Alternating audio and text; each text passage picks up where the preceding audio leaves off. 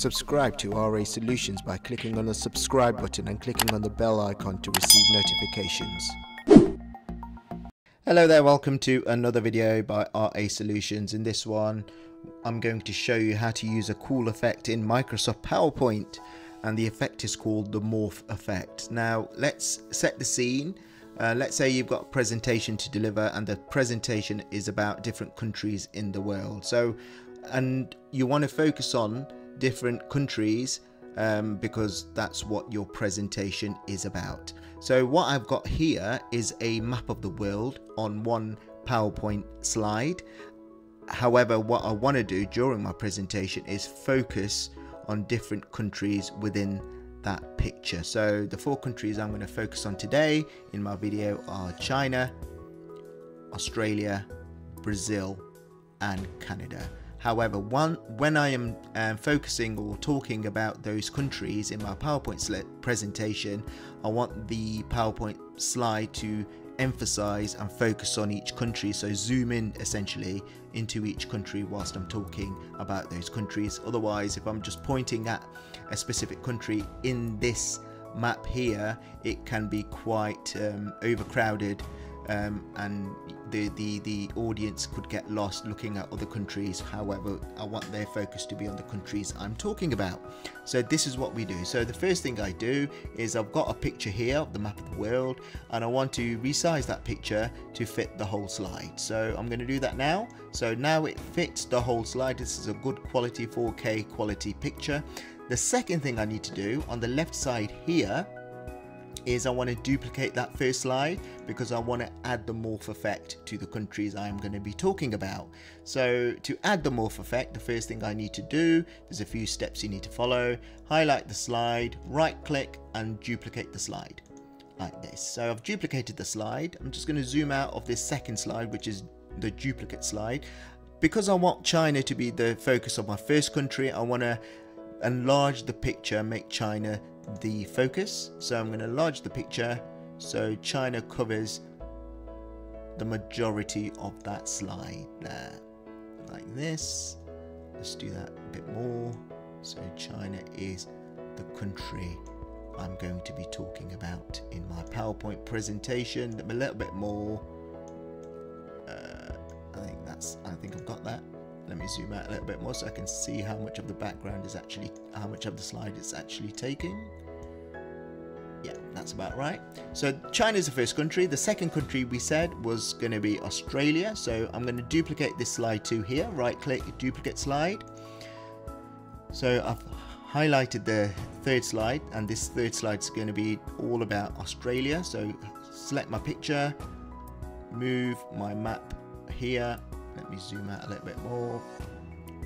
And then make the focus Australia. There we go. That's going to be good enough. Like that. Now the next country is the third country is going to be Brazil. So again same process applies. Highlight the picture or the slide. Right click duplicate slide here. Now I need to move the picture across. So Brazil is covering the slide that nearly there. There you go. And the fourth country is going to be um, we mentioned it was going to be Canada. So again same process right click duplicate slide. So it's going to be Canada. Highlight the picture again. Move the picture down like this. So Canada Canada even can't say it is the emphasis or the focus of my discussion or my presentation. Like that. So those are my four countries. You've got China. Let me just go into slideshow mode. Slideshow from beginning or F5 or down here. Let's just do from beginning here. So my the introduction is going to be talking about the map of the world. Then I'm going to focus on the different countries. So the first one's going to be China. Second one's going to be Australia. Third one's going to be Brazil. The fourth one is going to be Canada. Now you can see already, fair enough, the focus is going to each country. However, to add the morph effect to these countries, um, actually, what I'm going to do right at the end, I'm going to go back to the map of the world because I want to summarize um, and end my presentation by talking about the majority of the countries in the world. So go back to my first slide here and I want to duplicate that because that's going to be my summary there and drag that du duplicate slide right to the bottom there. So I'll start off my presentation talking about all of them, go to um, China, Australia, Brazil, Canada, end up by talking about all the countries again. Now to add the morph, there's another few steps you need to do. Um, so highlight the last slide like that. Put your finger on the shift button on your keyboard like this. Then select all the way up to slide 2 because that's where I want the morph to start from slide 2 onwards. Let go of the shift button. Now the next thing you need to do at the top in the ribbon here go to transitions and then choose in the transition to the slide section you want to choose morph which is essentially the second option click on morph and now hopefully the morphing has been applied to the slides that you have selected. Now to test this to see to see if this has worked um, go back to slideshow at the top ribbon then choose from beginning or click F5 or click down here to start, start the slideshow mode but I'm going to go from beginning to ensure it's starting from the beginning. Click on that.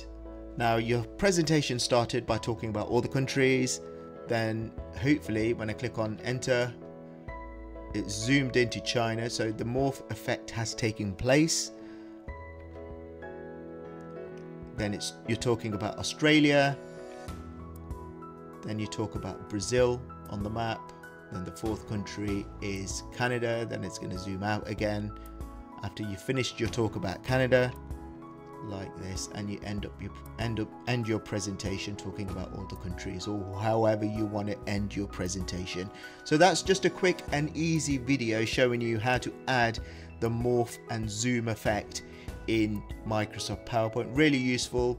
It will allow the audience to engage with your PowerPoint pr presentation, especially if you want them to focus on certain elements in a specific um, picture, image, phot photograph, or you can even apply morph to text as well. I might do some more videos later on showing you how to apply um, the morphing effect on texts, um, different types of texts and different icons, how you can get one icon to morph into another icon so on and so forth. I might do those later on but that's just a basic video how to add the morphing effect on a picture in Microsoft PowerPoint. I hope you found this video helpful. Please like subscribe and share